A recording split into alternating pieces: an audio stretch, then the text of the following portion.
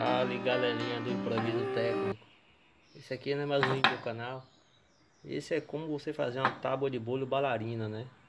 Pessoal, você vai precisar desse suporte aqui, ó Que tem em algumas máquinas de lavar. Tem esse suporte de alumínio, tá?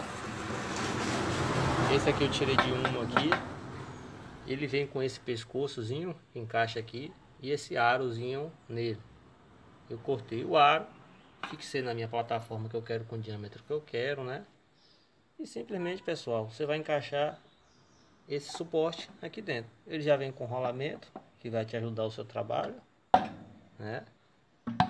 Ó. Encaixou.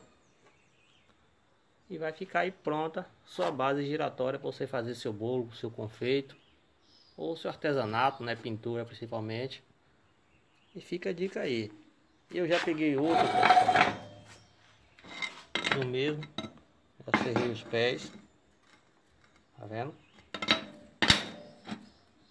Pra ele ficar encaixado no chão. Olha a diferença dele cerrado sem estar cerrado.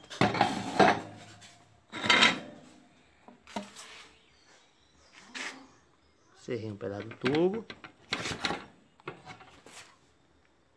E ficou mais baixinho, né? E fica a dica aí, pessoal. Tá? Para quem gostou aí, deixe seu joinha. Comente aí, compartilhe. Se inscreva no canal e até o próximo aí. Valeu!